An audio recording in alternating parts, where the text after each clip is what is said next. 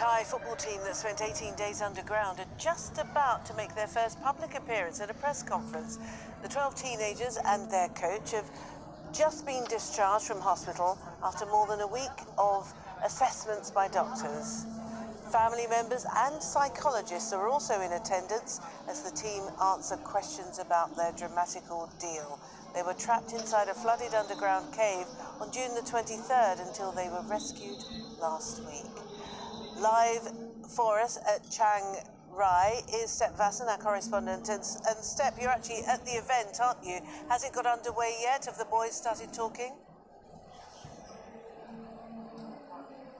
Well, it will go underway any minute now, Martine. We're waiting for the 12 boys, the young footballers, and their coach to enter this room now any moment to start uh, a very uh, controlled and orchestrated uh, press event. It's basically a talk show on Thai television, state television network, which will be aired around the country live on all TV channels and radio. It's, of course, the very first time we will actually see the boys and hear the boys mainly because we all, of course, are very curious to know how they are doing and how it was like to survive in a cave for 18 days. And even the first 10 days, not without uh, not any help had arrived. They didn't even know they were actually going to be rescued. So there's a lot of questions, of course, but the, this whole event is carefully orchestrated. Uh, psychologists have been screening the questions, so we could put in some questions, but we're not very sure what uh, will actually be asked to them here. It's also set up as a little football pitch, actually. They will be wearing their,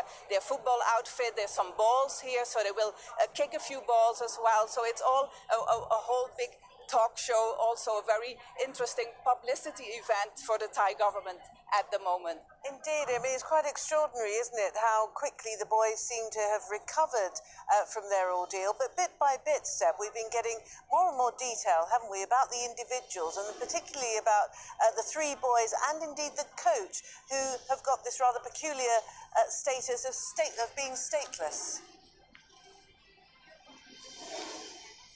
Exactly. We hear the music now playing. I think they will come in here any minute. But this is, uh, of course, an event that the government is using for their publicity. It's a program called uh, Thailand Moving Forward, a daily show that the government is using also to send their messages to the public. So the boys will appear on this this uh, channel today everywhere around the country. But sadly, four of them have not even the Thai nationality. The coach and three players are stateless. Uh, you have to understand this is a, a border region. So a lot of people from Myanmar are crossing into Thailand. So did the coach when he uh, was uh, he lost his parents as an orphan. He crossed the border trying to get better education here, as also one of the other boys. So basically, they have the right to education on this side of the border, but not many other rights. And of course, this whole ordeal, their whole story, have put the, the spotlight on the, the, the, the, the situation of these stateless people here in Thailand. Nearly 500,000 of them are stateless, and the government is now saying they might help and might speed up the process to give them their passports, nationalities. But of course, so many others are asking, when, when is it going to be our turn? Step Vaessen, thank you very much indeed, and we'll, uh, of course, go back uh, to Chiang Rai as soon as the boys appear and uh, get a sample of what they have to say.